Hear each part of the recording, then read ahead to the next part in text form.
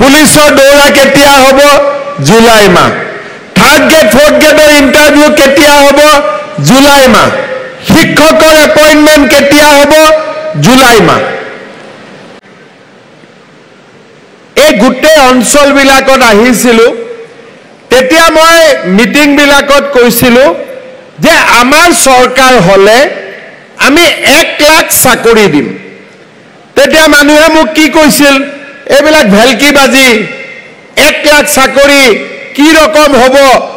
এইটো সম্ভৱ নাই। আৰু কংগ্ৰেছে কোৱা বাদ দিয়ক।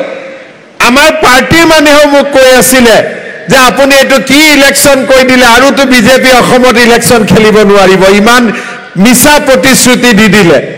কিন্তু আজি আপোনালোকক চাওক ৰাইজৰ আশীৰ্বাদ আছে।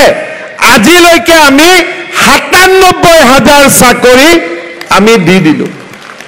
এতিয়া চাকৰি নামত কোনোবা দালাল আছে?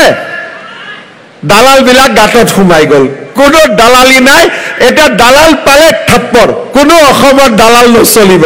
চাকৰিৰ নামত কোনো দালাল বন্ধ। এতিয়া চাওক, এক লাখ চাকৰি দুই তিনিদিনত হৈ যাব। কিন্তু আমাৰতো বহুত ল'ৰা এতিয়াও বেকাৰ হৈ থাকি যাব। হয়নে নহয়? সেইকাৰণে এক লাখ চাকৰি চেজ হৈ যোৱাৰ লগে লগে আমি আৰু পঁয়ত্ৰিছ হাজাৰ চাকৰি আমি খুলি দিম। পুলিচৰ দৌৰা কেতিয়া হ'ব? জুলাই মাহ। থাৰ্ড গ্ৰেড ফ'ৰ্থ গ্ৰেডৰ ইণ্টাৰভিউ কেতিয়া হ'ব? জুলাই মাহ। শিক্ষকৰ এপইণ্টমেণ্ট কেতিয়া হ'ব? জুলাই মাহ। এতিয়া আপোনালোকে কওক কৈছিলোঁ এক লাখ। এক লাখ পঁয়ত্ৰিছ হাজাৰ হ'ব এই বছৰ।